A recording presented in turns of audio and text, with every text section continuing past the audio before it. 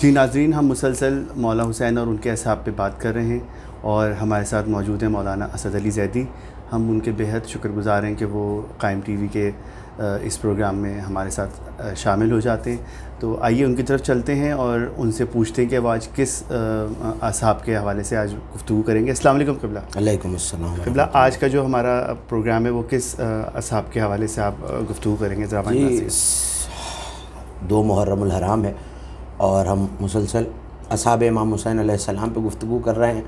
आ, उन असाब पे कि जिनकी मारफत क्यों ज़रूरी है कि सहाबी समझ में आए तो उनका आका और मौला समझ में आए। बेशक। होरो हबीब जॉन बुरैर और सजा मुस्लिम बिन और सजा हिलाल बिन नाफे ये समझ में आए तो आका समझ में आए। इमाम हुसैन समझ में आए कि जिसके सहाबी जिसके ग़ुलाम जिस पर जान फिदा करने वाले ये हैं तो उस मौला का अपना मकाम क्या होगा? आज की नशस्त में आज के प्रोग्राम में हम जनाब मुस्लिम बिन और सजा उन पर गुफ्तु करेंगे उनकी सीरत उनके हालात उनकी ज़िंदगी के बारे में। छः हिजरी में रसूल के मक्के से मदीना आने के बाद छः हिजरी तेरह सफ़र को उनकी विलादत है और मक्के में उनकी विलादत हुई है। यानी खाना खुदा के पास उस जगह पे जो अल्लाह का हरम है वहाँ पे मुस्लिम बिन और सजा आए लेकिन अब चूँकि हमने ये पहले नशस्त में भी कहा था कि जहाँ कुरान ने कोई खुशकोतर नहीं छोड़ा वहाँ पे ऐसा कैसे हो सकता है कि असाब हुसैनी का तस्करा ना किया हो? बेशक। इस सहाबी में और एक और हस्ती ऐसी है जिसका सैदुलशहदा से बड़ा गहरा रब्त भी है ताल्लुक़ भी है और वो अहल बैत में से भी हैं जनाब मुस्लिम बिन अकील सलाम सफ़ीर हुसैन। उनका नाम भी मुस्लिम है और जनाब मुस्लिम बिन औसजा का भी नाम मुस्लिम है। तो ये दो अहमियत की वजूहत अब पैदा हो गई हैं कि एक तो ये सफ़ीर हुसैन के हम नाम हैं। सुबह और हम सिन भी हैं तकरीबन क्योंकि छः हिजरी में इनकी विलादत है और तकरीबन वो सिन सैदुलशहदा के सिन के बराबर है और शहदाय करबला में जो बुज़ुर्ग शहदा हैं या जो सन रसीदा शहदा हैं उनमें एक नाम जनाब मुस्लिम बिन औसजा का आता है और ये वो हस्ती है जिसने रसूल अल्लाह का भी ज़माना देखा है अमीरमिन का भी ज़माना देखा है इमाम हसन मुशतबा सलाम का ज़माना भी देखा और फिर सैदुलशहदा के साथ आए और सैदुलशहदा के साथ शहीद हुए। यानी चार मासूमीन बल्कि पंजतन को देखा है। क्योंकि ज़ाहिर है कि जब मदीना आए हैं तो रसूल सैदा के दरवाज़े पर भी जाते थे तो वो ज़माना भी देखा सैद आलमियान का ज़माना भी देखा अमीरमिन और रसूल अल्लाह और इमाम हसन और इमाम हुसैन का ज़माना भी देखा है। तो पंजतन के ज़माने को जिन आँखों ने देखा हो वो कैसे अजमत हुसैन बताएँगी और कैसी अजमत हुसैन की मारिफत रखती होंगी? सुबह ये एक सोचने का मकाम है। नाम जनाब मुस्लिम का मुस्लिम है ज़ाहिर है और एक कुन्नीत है। अबू हजल अच्छा अरब माशरे में ये बात थी कि जानवरों के नाम पे हैबत के लिए या ख़ूबसूरती के लिए कुन्नीत रखी जाती थी। जैसे आपके बहुत सारे उलमा में ये मशहूर बात है। बहुत बड़े आलिम है गैबत कुबरा के ज़माने के सैयद अली बिन ताऊस। ताउस मोर को कहते हैं। हम्म, तो मोर की कुन्नीत इनके वालिद को मिली थी। अल्लामा आल असफूर ये भी चिड़िया के लिए इस्तेमाल होता है। और जो खूबसूरत चिड़िया होती है उसके लिए असफूर इस्तेमाल होता है। जैसे सहाबा किराम में हज़रत अबू हुरैरा हैं हुरैरा बिल्ली को कहते हैं। हाँ। तो ये कुन्नीतें नस्बतों के अतबार से हो जाती थी। तो अबू हजल चकोर या तीतर को दोनों नाम अरबी ज़बान में मिलते हैं चकोर या तीतर को हजल कहते हैं। और बड़ा खूबसूरत जानवर होता है और पाकिस्तान में भी और दीगर इलाकों में भी इंटीरियर सिंध वगैरह में भी चकोर परिंदा बड़ा हसीन होता है और पाया जाता है। तो अबू हजल कहा जाता था। नाम मुस्लिम है कुन्नीत अबू हजल। नाम के हवाले से ये बता दूँ कि मुस्लिम कुरान ये कहता है हमने तस्करा किया कि बात सारी क्योंकि कुरान हमारे हाँ। लिए हिदायत का ज़रिया और हर खुशकोतर कुरान में। तो मुस्लिम का नाम चूँकि अहल बैत में भी पाया जाता है तो मैं चाहता हूँ कि इस नाम पर गुफ्तु करूँ आप सुनते भी रहते हैं। हम भी अपने आप को मुस्लिम कहते हैं। हाँ बेशक। मैं और आप भी मुसलमान हैं, हमारे नाजरीन भी, हम भी हर कलमा को अपने आप को मुस्लिम कहता है। और कुरान ने इस नाम की वजह भी बताई। सूरह मुबारक हज में इरशाद फरमाया, मिल्लत अबीकुम इब्राहिम। ये जो मिल्लत है ये जो कौम है ये तुम्हारे बाप यानी हज़रत इब्राहीम अलैहिस्सलाम की है हुआ सम्माकुम मुस्लिमीन उन्होंने तुम्हारा नाम मुस्लिम रखा था। इसका मतलब है मुसलमानों का नाम इस मिल्लत का नाम मुस्लिम यानी मुसलमान हज़रत इब्राहीम ने तजवीज़ किया या उन्होंने रखा या उन पर ईमान लाने की वजह से लोग मुस्लिम कहलाए और फिर वो सिलसिला चलता चलता हज़रत मूसा ईसा से सरकार दो आलम तक आया और जिन्होंने सरकार का कलमा पढ़ा वो भी मुस्लिम कहलाए। लेकिन मिल्लत इब्राहिम चूँकि पहले इमाम हैं।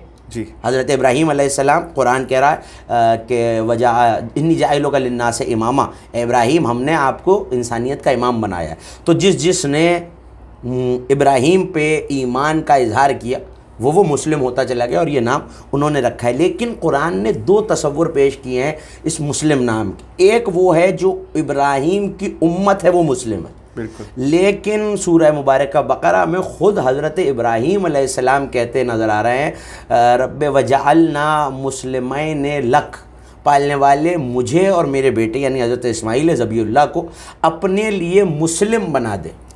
मुस्लिम तस्लीम से इस्लाम से यानी कबूल करना तोहहीद को अपने लिए मुस्लिम बना दे। और मेरी ज़ुर्रियत में थे मेरी ज़ुर्रियत में से उम्मतन मुस्लिमतन लक ऐसी उम्मत को करार दे मेरी ज़ुर्रियत में कि वो भी तेरे मुस्लिम हो। वाह अब दो तस्वुर हमारे पास आ गए जो इब्राहिम को माने वो भी मुस्लिम। हम्म।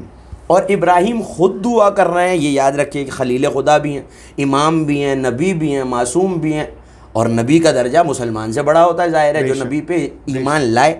वो मुसलमान होता है। और एक नबी कह रहा है मुझे मुस्लिम बना दे। तो ये मुस्लिम लिखा उलमा ने और मुफसरीन ने कि तस्लीम से पालने वाले मुझे तस्लीम करने वाला बना दे। यानी एक मुस्लिम वो होता है जो इब्राहिम तमन्ना कर रहे हैं। और एक मुस्लिम वो होता है जो खुद इब्राहिम को माने वो मुस्लिम हो जाता है। इसका मतलब है मुस्लिम होने के भी दो दर्जे हैं। इब्राहिम जैसा इमाम नबी ये तमन्ना कर रहा है कि मुझे मुस्लिम बना मुस्लिम दे, बना दे। तो जनाब मुस्लिम के ही एक जुमले से इस बात की तशरी करूँगा कि इबन ज़ियाद मलून के दरबार में सरकार ने फरमाया था कि देखो तुम मेरे इस्लाम पे किसी ने नाउज़बिल्ला जनाब मुस्लिम चूँकि हुकूमत वक्त के ख़िलाफ़ थे और हक़ पर थे तो किसी ने कहा कि नाउज़बिल्ला ये काफिर हो गया है। तो पलट के कहने लगे तुम मेरे कुफ्र ईमान पर गुफ्तु करोगे। लोग ईमान लाए नबी पर फिर मुस्लिम बने। नबी का कलमा पढ़ा फिर मुस्लिम बने। वाँ, वाँ, मैंने कलमा बाद में पढ़ा है नबी ने मेरा नाम मुस्लिम पहले रखा वाँ, वाँ, वाँ, क्योंकि जनाब अकील के बेटे हैं अली के भतीजे नाम सरकार दो आलम ने रखा था। वाह वाह तो ये मुस्लिम है। और उसी के हमनामी की शरफ हासिल है मुस्लिम बिन औसजा को। तो एक वजह यह भी है कि हुसैन मुस्लिम से मोहब्बत करते थे। सुबह अल्लाह। सीने आ गए भाई पाँच मिनट में। हालाँकि कमरा ठंडा होता है लेकिन ज़ाहिर तो बोलने, बोलने की वजह से बोलने की आते बोलने की वजह से आते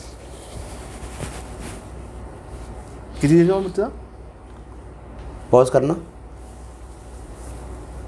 स्टॉप नहीं करना? जी। तो हम गुफ्तु कर रहे हैं ये कि दो किस्म के मुस्लिम हैं। एक इब्राहिम तमन्ना कर रहे हैं। तो इसी नस्बत से जनाब मुस्लिम में नौसा जा से तो कुन्नीत हमने अपने सुनने वाले अपने नाजरीन के सामने पेश की अबू हजल। अबू हजल। और नाम मुस्लिम है। वल्दियत पे भी मैं थोड़ी सी गुफ्तु करना चाहता हूँ कि जनाब मुस्लिम बिन औसजा के वालिद का नाम है औसजा। ये औसजा क्या है? हम्म। इसका मतलब क्या है? समझ में आए तो एक बड़ा खूबसूरत जुमला एक आलिम का आ, मैं अपने नाजरीन के हवाले करना चाहता हूँ जनाब मुस्लिम बिन औसजा के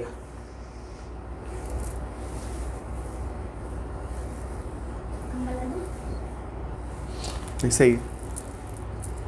अपने नाजरीन के हवाले करना चाहता हूँ, जनाब मुस्लिम बिन औसजा के फ़जाइल के हवाले से। औसज एक दरख्त को कहते हैं। और ये वो दरख्त है जो ज़मीन में सबसे पहले पैदा किया गया। इस दरख्त में कांटे नुमा शाखें होती हैं छोटी छोटी और बड़ा गोल इसका फल होता है और ये बड़ा सख्त और मज़बूत लकड़ी का दरख्त होता है।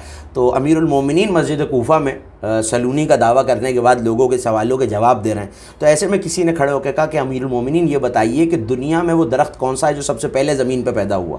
तो कहने लगे उस दरख्त को औसज या औसजा कहते हैं और हज़रत मूसा का असा जो फेंकने पे सांप बन जाता था जिससे पत्ते तोड़ते थे उससे नूर निकलता था और नील पे मारा तो बारह रस्ते बन गए थे दरिया के अंदर। जी, जी, जी। तो ये हज़रत मुस्लिम बिन औसजा हैं औसज उस दरख्त को कहते हैं जो सबसे पहले आया। रसूल की हदीस है कि याली तुम साकी एक औसर हो गए। और अमीरमिन का बड़ा मशहूर लकब है साक़ी कौसर। लेकिन एक और काम है कि तुम मेरे दुश्मनों को हौज़ कौसर से हटाओगे हकाओगे। अब जिन्होंने बकरियों को या रेवड़ों को पानी पीते देखा है देखते हैं कि चरवाहा जो अपना रेवड़ होता है उसमें से अजनबी जानवरों को हटाता है एक लाठी के ज़रिए। हम्म। तो कहा कि तुम्हारे हाथ में औसज की लकड़ी का असा होगा। वाह वाह जब तुम हौज कौसर पे होगे और इन्हें हटाओगे तो औसज की लकड़ी का यानी असाए मूसा जिसके लातादाद मौजे हैं और हम उसी पे गुफ्तु करने लग जाएँ तो एक प्रोग्राम और चाहिए कि असाए मूसा के मौजात क्या क्या हैं। बहरल नील के टुकड़े उससे हुए नूर उससे निकलता था लकड़ियाँ उससे निकाल लाते थे हज़रत मूसा उसके लिए खैमा बना लेते थे उसकी टेक लेके आराम कर लिया करते थे और वो फेंका तो अजदहा बन गया, मशहूर वाक़ कुरान में मौजूद है और इसी लकड़ी के असास से अमीरमिन क़यामत में हौज कौसर से हकाएँगे। यानी इतने मोजात हैं इस औसज की लकड़ी के। और ये हैं मुस्लिम बिन औसजा। तो एक आलिम ने बड़ा खूबसूरत जुमला लिखा उन्होंने कहा कि असहाब हुसैनी में मुस्लिम बिन औसजा का वही मकाम और वही मरतबा और वही मुआजा है। क्योंकि हज़रत मूसा से अल्लाह कुरान में कह रहा है कि तुम फ़िर के पास जाओ हमारी निशानी हमारे मुआजे लेकर यानी यद बैज़ा और अपने मुआजे वाला असा। तो उन्होंने लिखा कि जैसे असाए मूसा मूसा का मोजा था। वैसे मुस्लिम बिन और सजा की मिसाल असाब हुसैनी में वही है जैसे असाए मूसा की है। सुबहान अल्लाह मुस्लिम बिन और सजा हुसैन का मोजा है। सुबहान अल्लाह बड़ा खूबसूरत जुमला उन्होंने लिखा और जनाब मुस्लिम बिन और सजा वो हस्ती हैं कि जिन्होंने ज़माना रिसालत में भी बड़ी बहादरी के साथ परवान चढ़े और बनी असद कबीला जो किसी तारुफ का मोहताज नहीं है, ग्यारह मुहर्रम, बारह मुहर्रम को तवेरे जाते हैं। और हबीब इबन मज़ाहिर भी इसी कबीले से थे और जनाब मुस्लिम बिन सजा भी इसी कबीले से थे। उस कबीले से इनका ताल्लुक़ है और बड़ा बहादुर कबीला, बड़ा शजा, बड़ा जंगजू कबीला है और इसके जवान बड़े बहादुर हुआ करते थे। और सिर्फ़ ये नहीं खिलाफत राशिदा के ज़माने में भी इन्होंने जंगें लड़ी आज़रबाईजान बाईस हिजरी में जब इस्लाम फैलने लगा और दूसरे ममालिक तक फैला तो ये खिलाफत सानिया, दूसरी खिलाफत का ज़माना है। हज़रत मुस्लिम बिन औसजा, वो बहादुर हैं कि अभी क्या उम्र है? अट्ठारह, उन्नीस या सत्रह, अट्ठारह बरस की उम्र है और उसमें लश्कर के एक दस्ते के सालार रहे। और अजरबैजान पे ऐसा हमला किया कि वहाँ के बादशाह और फौजों की कमर तोड़ दी। इसका मतलब है कि ये शजा पहली बार करबला में नहीं लड़ा। ये आजमाया हुआ बहादुर आजमाया हुआ जंगजू आजमाया हुआ सिपाही था। अब हो सकता है कि हमारा कोई नौजवान ये सोचे कि भाई उस दौर में जो हाकिम है उसके लिए लड़ रहे हैं तो उसके लिए नहीं लड़ रहे। जैसे अली जाके अपनी खिलाफ क्योंकि खिलाफत अमीरमिन का हक था लेकिन खुलफा की मदद की तो खुलफा की मदद नहीं हो रही है इस्लाम की मदद हो रही है। इसी तरह मुस्लिम बिन औसजा खलीफा की तरफ़ से लड़ने नहीं गए दीन इस्लाम की तरफ़ से लड़ने गए और यही वजह है कि जब दीन बचाने का वक्त आया हम्म। तब हुसैन ने इस आजमाए हुए सिपाही को अपने साथ रखा। खसाइश में ये भी लिखा उनके हालात में कि हाफिज़ कुरान थे। अमीरमिन के साथ सिफ़ैन में जंग की है और कैसा मर्तबा है कि कुरान की तिलावत इस खूबसूरती से करते थे कि अली ने बुलाकर तिलावत कुरान मुस्लिम में नौसजा से सुनी। सुबहान अल्लाह उसका क्या मर्तबा होगा और उसका क्या हिफ्ज़ कुरान होगा जो कुरान नातिक के सामने कुरान सुना रहा है। अमीरमिन और एक और बड़ी फजीलत ये कि अमीरमिन ने अपना भाई कहा है मुस्लिम बिन औसजा को। जिसे अली अपना भाई कह दें वो मुस्लिम बिन औसजा क्या मर्तबा और क्या मकाम रखता होगा कुरान सुना रहे हैं अली को। ये इमाम की हदीस है कि तीन किस्म के कारी हैं।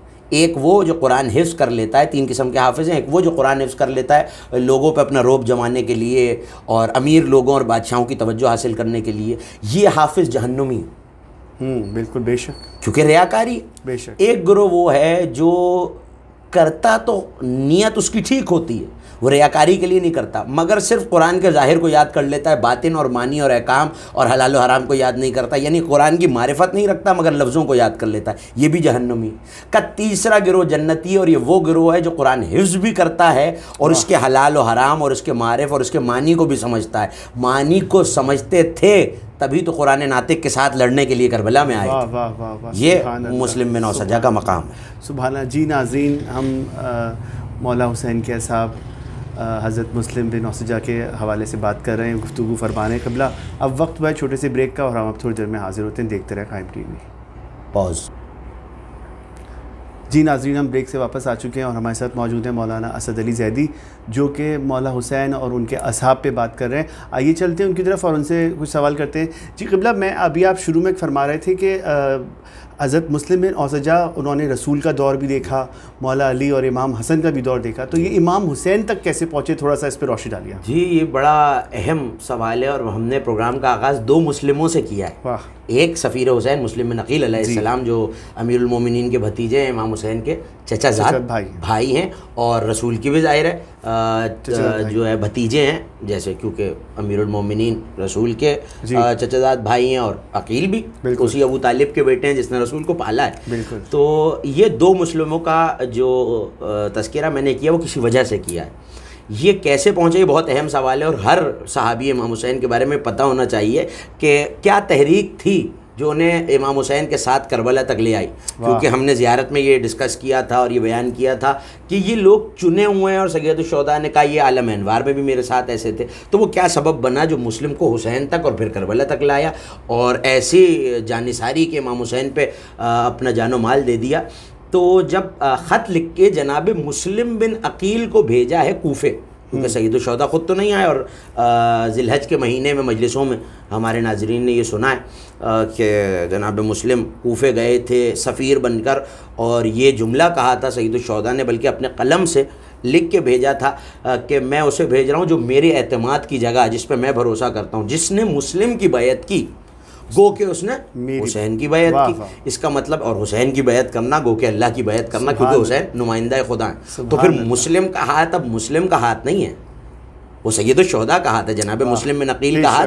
क्योंकि सफ़ीर हैं भाई हैं लबैत में से हैं और यही जुमला कहा था अखी व नामी व सिकती व मैं नाहलबैती मेरा भाई मेरा चचाजाद मेरे भरोसे की जगह और मेरे अहल बैत में से भी है। सुबह जब ख़तरा बढ़ने लगा और इबन ज़ियाद को ये पता चला कि मुस्लिम आके इमाम हुसैन के नाम पर बैत ले रहे हैं और कई हज़ार अफराद ने बैत की तो जनाब मुस्लिम की जान को ख़तरा हुआ और उस मस्जिद में जनाब मुस्लिम बिन औसजा आए और उन्होंने बैत की।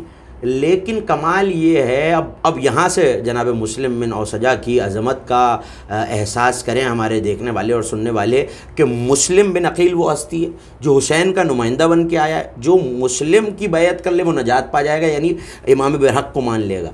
जब मुस्लिम की ज़ात को ख़तरा हुआ जनाब मुस्लिम बिन अकील सफ़ीर हुसैन की तो वो जनाब हानी बिन उर्वा के घर उन्हें छुपाया गया ताकि बिल्कुल। कोई हमला ना कर दे और उनकी जान को ख़तरा ना हो, क्योंकि मकसद हुसैन ने आगे बढ़ना है।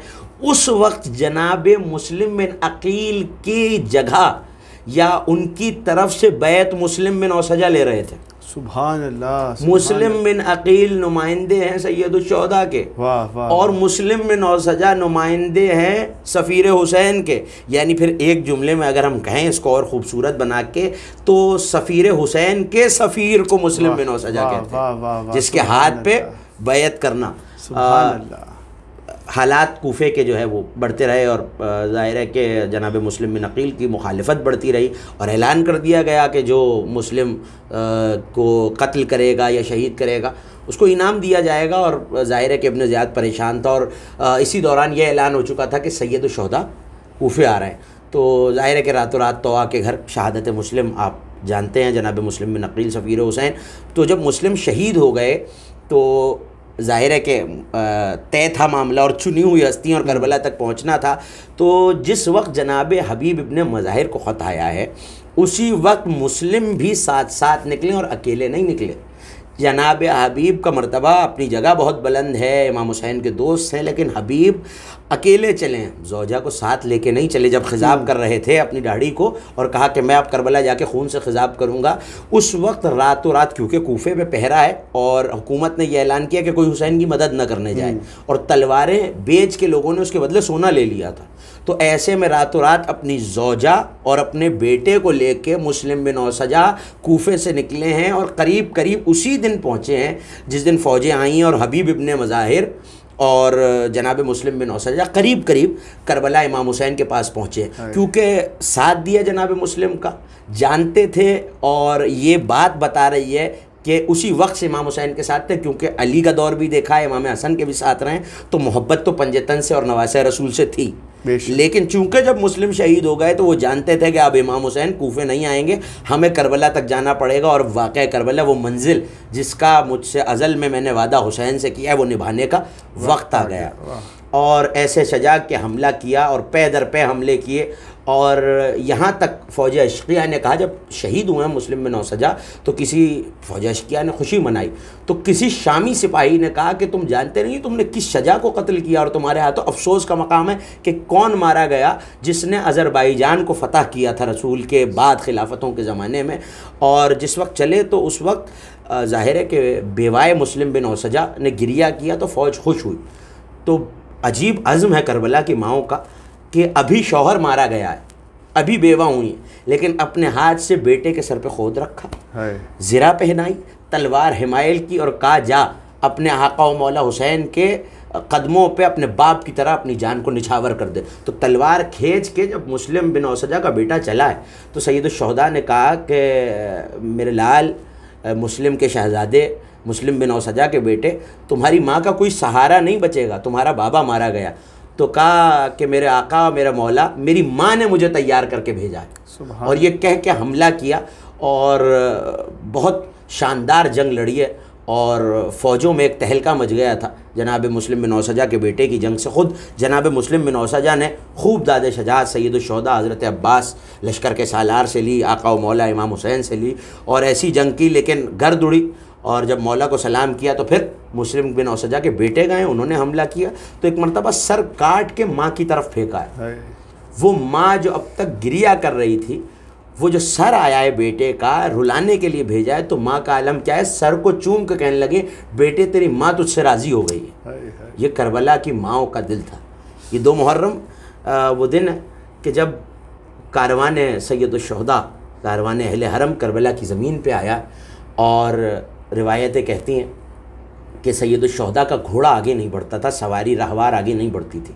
इमाम हुसैन ने यहाँ तक लिखा, उलमा ने कि सात रहवार तब्दील किए, मगर कोई सवारी आगे नहीं बढ़ी।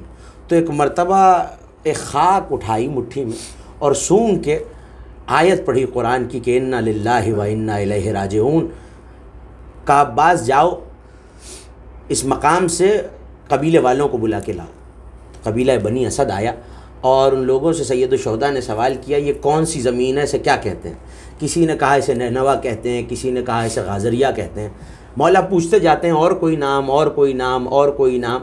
तो एक बहुत बूढ़ा शख्स खड़ा था। उसने आगे बढ़ के कहा फर्जंद रसूल इसे करबो भला भी कहते हैं।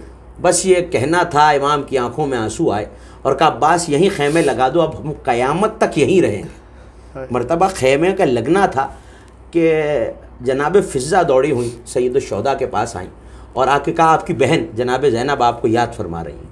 कहा भी तो खैमे लगे हैं हुसैन सर को झुका के बहन के खैमे में दाखिल हुए तो जनाब जैनब की आगोश में जनाब सकीना बैठी हुई और जनाब जैनब की आँखों में आँसू। कहा भैया ये कैसी सरजमीन है? का ये सरजमीन करबला है। कहा भैया ये अजीब सरजमीन है यहाँ की मिट्टी से मुझे अम्मा की दूध की बू आती है आपके लहू की बू आती है। और भैया एक खाक है जो उड़ के सकीना के बालों में आ गिरी है। रो के कहने लगे जैनब इसे यतीमी की खाक कहते हैं। मेरे बच्चे मेरी बेटियाँ यहाँ यतीम हो जाएँगी। का भैया एक और बात जब से यहाँ खैमे लगे हैं खैमे के पीछे से किसी बीबी के रोने की आवाज़ आती है। जब 28 रजब को काफिला चला था तो हुसैन नाना की कब्र पर रुखसत के लिए गए थे। लेकिन तारीख़ ने लिखा कि ऐसे जाते थे जैसे दीनों दुनिया का कोई बादशाह जा रहा हो। लेकिन जब माँ की कब्र पर आए तो घुटनों और कोहनियों के बल आए, जैसे कोई छोटा बच्चा माँ की आगोश की तरफ़ दौड़ता। और आवाज़ दे के कहते जाते थे, अम्मा, तुम्हारा हुसैन आ गया। अम्मा, तुम्हारा हुसैन आ गया। जब चले थे तो माँ ने वादा किया था, मेरे लाल, अब माँ कब्र में चैन से रह नहीं सकती। जहाँ जहाँ तुम जाओगे, वहाँ वहाँ तुम्हारी माँ आएगी। जब बीबी जैनब ने यह कहा कि, भैया, मुझे खैमे के पीछे से रोने की आवाज़ आती है तो रो के कहने लगे, अब जैनब, पहचाना नहीं, माँ फातिमा जहरा आई हुई